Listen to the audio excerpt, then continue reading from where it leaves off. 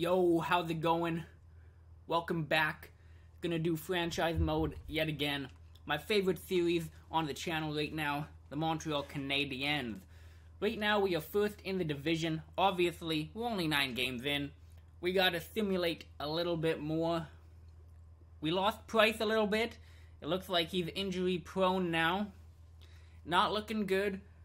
But our team is still fairly competitive. We lost a little bit of depth in terms of defense last year.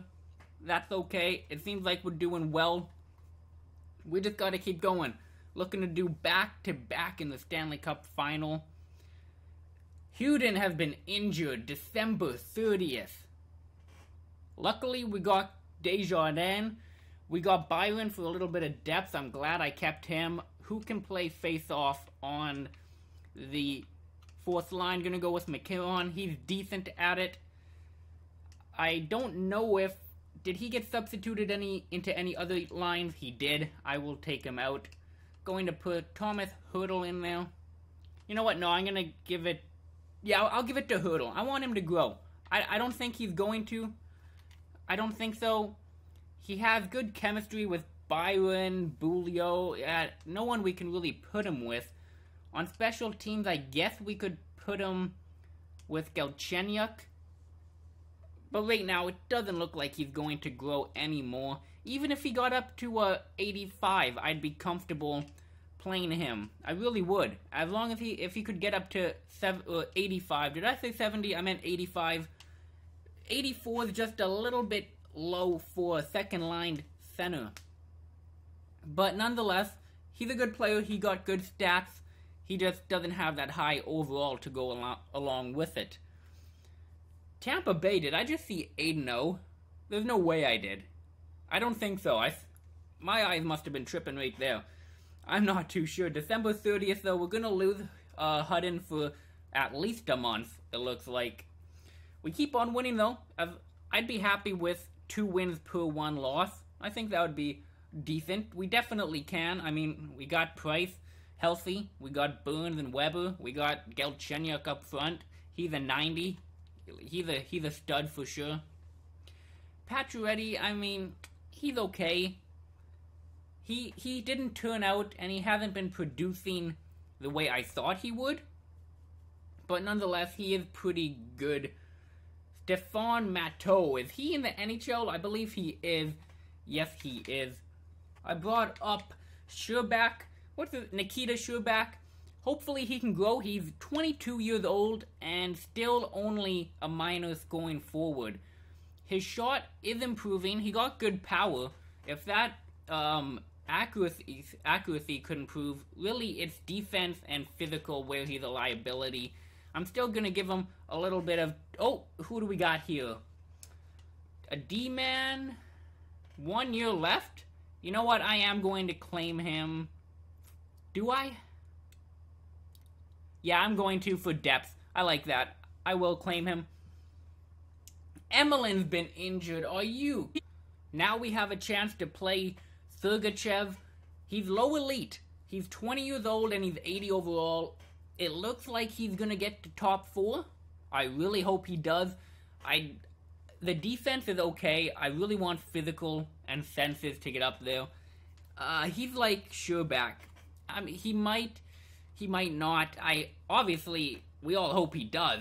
That that would be awesome. But uh, we got to do defense again. Beaulieu is an 86 overall. It definitely looks like he's gonna fill out his potential, which is amazing to see. I was really worried because of the low, and Thomas Hertl didn't achieve it. But it looks like Beaulieu is going to, and if not better, because he's going to be a really solid top four guy. Multiple players are able to be dressed. Beaulieu's been playing amazing. He is 25. He definitely filled out his potential. 86 on the top four is great. We're gonna get to we're gonna get to pad him a little bit with Burns and Weber, but after this year with Burns gone and then Weber gone in a few years, we don't have that stud yet. Hopefully, um, Sergachev can become that player. As of now, it's not looking like he's going to. We have Honka as well. We definitely got the prospects. just not the elite defenders right now. Now, Sergachev has good um, chemistry with both Hertl and Galchenyuk. If he can become a top six midway through the year, I'm definitely going to put him on the team to hopefully boost Hertl's overall up. He's only a minor top two, and I don't want to fuck up that low elite. I really want him to become a top two guy. I'm not going to change too much when it comes to that, but if I see that he's growing a lot, without a doubt, I'm going to move him up. So we move down to fourth. Again, it's still early on. We're just two wins out of first place. Nothing to get too crazy about. We're going to have to go a few more months to really get a feel of what our team's all about here. Going to sim up to Philly. A lot of cuts so far. Definitely a lot of injuries. Hopefully that can, you know, die down. We only have 78 chemistry. I really want that to go up. I want that to be like an 85. I don't know why it's down. We didn't make. We only signed one guy in free agency. I don't know. If you know how to get chemistry up better, let me know because right now I have no idea. Back down to 500. Damn. Come on, Montreal. Gotta do better. Now Mio has been injured. You have got to be kidding me. I'm gonna turn injuries down a little bit to 35. If you agree or don't agree, let me know. It just seems like it's happening a little too often, especially for a YouTube video. I don't know. Gonna try that out. If you don't like it, I can always change it back. But let's look at player progression so far. We do have one meeting to take care of. I'm pretty sure it's Andrew Shaw. It is. What do they want to talk about? Good performances. good work, Shaw. Good work. I got a team meeting. Top teams require effort, but okay. Yeah, rise to the occasion. Don't disappoint them. There we go. Okay, they're starting to warm up to me a little bit. That's good to see. I'm getting better with that for sure. Hudon's injured. What? No, he's not. Is he? Oh, fuck. I didn't even notice. So we got two injuries. We got uh, Hudon and Mir. Damn, that, that really sucks. Go to progress report. Did anybody get better so far? They did, so that's good. Let's take a look. We got Bue. The, oh yeah, I forgot all about him because he's in the CHL. Uh, he's grown a lot. He's only 18 years old. I hope, I pray he turns into a great uh, defender. Strome looks like he might not fulfill his potential, but that's okay. So as you can see, we got a ton of uh, forward prospects in the system. Let's go to defense. Really, all we got is Yuthlin. Anybody else at all? Oh yeah, we got Sergachev, but besides those two, we got a few seventh defensemen. Not too much coming up. That's why I'm looking to draft one of them. Next year or the year after, we might have to trade Shea Weber. We might trade him to a Stanley Cup contending team for a younger defenseman. Definitely not this year. Probably not next year because we still got to win at the end of the day. So another depth defenseman, Kyle Quincey, one year left. You know what? I am going to pick him up because it looks like it's going to be an injury year, and then we can also have more depth in the AHL, hopefully to allow Sergachev and Yuthlin to grow. Mainly Sergachev. So, oh, is he already in the system? Perfect, he is. So Sergachev is an 80 overall. We got Quincey now. I'm going to take a look just to make sure he went to the AHL roster. Just going to do best lines down there. No need to do anything else. Yeah, no, he didn't get put back in. So best lines. Now we got Quincey playing with him. Hopefully that can give him a veteran presence to get better. We also got um, Kolyakovo, I don't know, to play with Yuthlin. So we do got the veterans down there. Hopefully they can help him grow. I don't know if that's how it works in the game. It is a video game after all, but doesn't hurt to try it out, you know.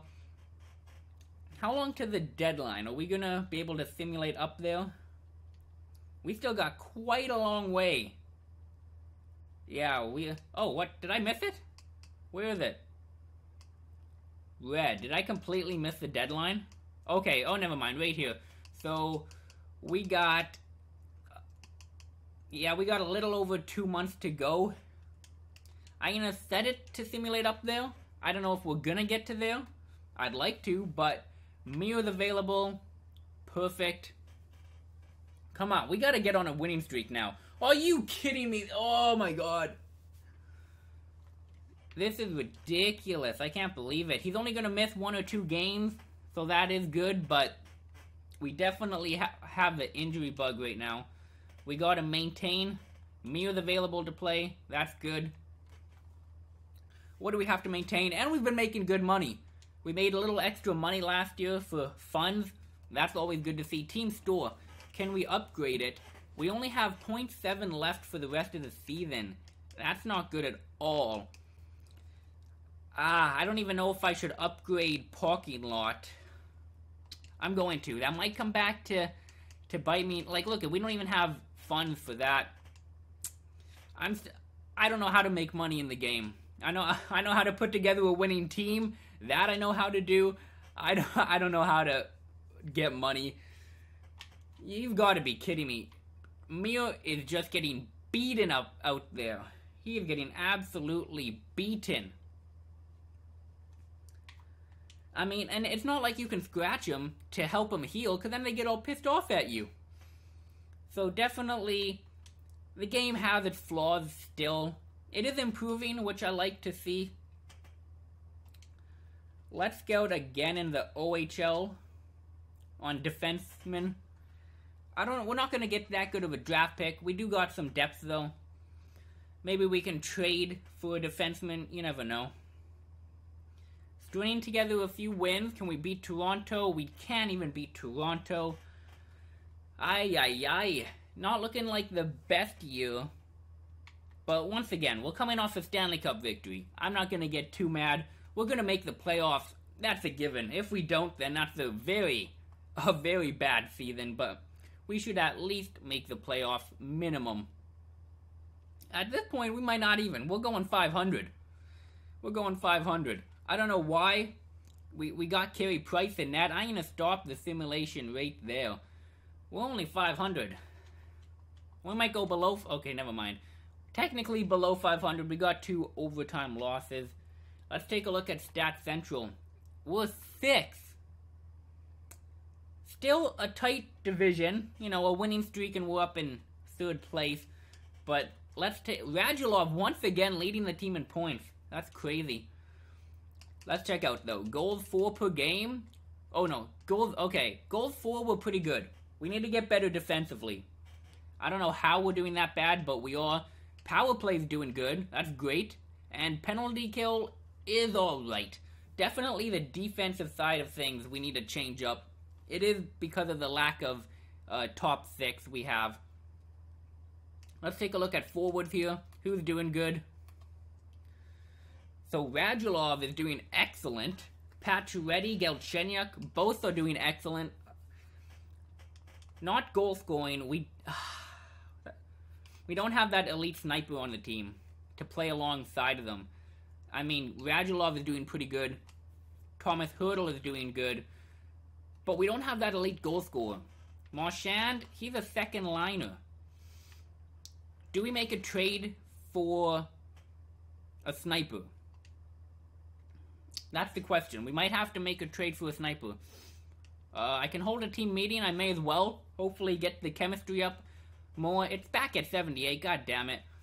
Tough challenges. I'm going to do demanding again.